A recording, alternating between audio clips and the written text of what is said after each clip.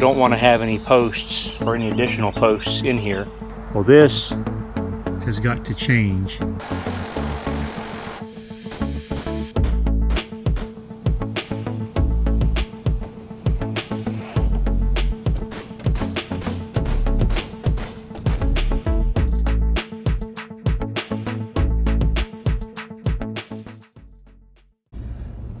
Good morning, everyone. Do I look tired? Because I am tired. But no rest for the weary, I suppose. Uh, we're gonna go shopping this morning to see if we can find some decent price on some OSB. Uh, I'm not holding out much hope. But anyway, we're gonna check. And I got the information back on doing my porch roof. Um, it's going to be some really weird stuff that we got to do, but um, don't want to have any posts. So, you know, you do what you got to do to make it like you want to make it. All right, so let's get started. Here we are. Um, after talking to my uh, engineer friends about uh, what we got going on here over this porch, um, you know, I don't want to have any posts or any additional posts in here. So uh, what we're going to do is we want to be able to fill this in without having any posts support it. And I know it sounds kind of silly, but um, you know, that's just the way I like to do things. So what we're going to have to end up doing is we're going to end up doing a little bit of fancy work here. Let me explain to you what's going to happen. All right, we're going to start first things first. I ran this out to support the overhang out here.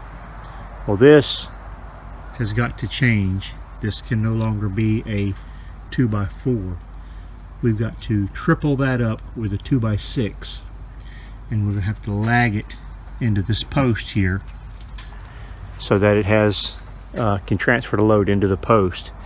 And that 2 by 6 will then be can run all the way back to the house and tied into the house. That'll give me a cantilever out here. This 2 by 4 which is basically the overhang you know you see you got the whole overhang the sub fascia everywhere on the house well, this overhang here is going to be four 2 by 4s and those will tie in on this end of that triple two by 6 with that cantilever. Remember that as this pulls down, that's going to want to go up. These lags are going to keep it from going in and back there is going to keep it from popping up. On this end, these, remember now this is going to be four going to be four 2x4s right here. That's going to tie in to this 2x4 but that 2x4 then has to be doubled up on this back side. So now you'll have a two 2x4s there. Those will be fastened in on either end. Those just have to be screwed in. They don't have to be lagged or anything. But because of the load, load transfer onto the tails of these trusses here and here this truss is going to want to do this on each end. So we have to beef this up. So on either side of this, we're going to have to sandwich on these trusses with 2 by 6s and run it up to the peak so that this part doesn't uh, sag. And while that's going to be a lot of, of extra lumber, and here I am complaining about the cost of lumber. Uh, but I want to make it look nice. I, I it's uh, a thing I I like to do things and make it look nice. So then we're gonna have to come back and then we'll run our our 2x4 rafters. We'll run them on top of the wall there back and we'll tie them in to our uh, 2 by 4s out here. And that'll give us our shed roof over our front porch. And it'll look a whole lot better. because go back up here essentially that's what you'll see and there'll be no posts in it and you won't be able to see a beam and people will look at it and wonder how in the world is that thing staying up but that's how I roll. That's the kind of things I do. I want to make it look nice. I want to make it look um, well I want to make it safe but I want to make sure that it uh, you know it looks nice. I, I, I don't want to obstruct the view. Not that there's much of a view out here but um, you know uh, if, if it's worth doing it's worth doing right. So let's do it right and this gable I think this is going to really set the house off here. So anyway now that I've dropped my trailer I've got to go pick up my lumber and we'll get started. I've got to finish the overhangs on this end of the house and put some blocking in. Um, I'm not going to be able to do my valley uh, framing until I get my some of my decking on but uh, we're going to get started on that and I don't know how far we'll get but however far we get is how far we get. And stay tuned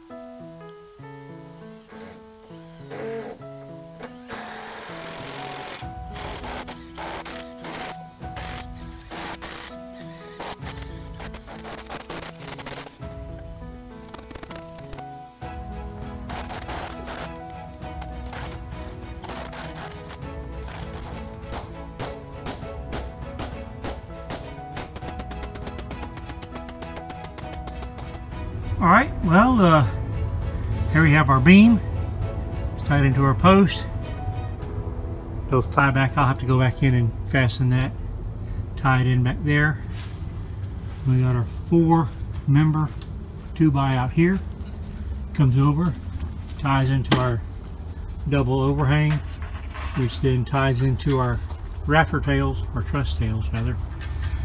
Then we doubled up this with a 2x6 to take care of the cantilever load Now, I know some people are going to look at this and say, oh my goodness, that's not going to work. But I assure you it will. We've got the total load on here is about a thousand pounds once you get the metal and live load, dead load, everything. You're going to come over here, you're going to put about 500 pounds on this side and about 500 pounds on this side. Then this connection will divide up. You'll have 250 pounds on each one of these rafter tails. Everything is engineered, it will work fine. The, uh, if you think about, you know, I weigh about, well, not quite 250, but pretty close. And uh, the main criteria is controlling this was deflection. We didn't have to worry about deflection. This could have been a much smaller beam. But now what will happen is this will be a flat ceiling across there. And uh, it'll look really sharp, I think.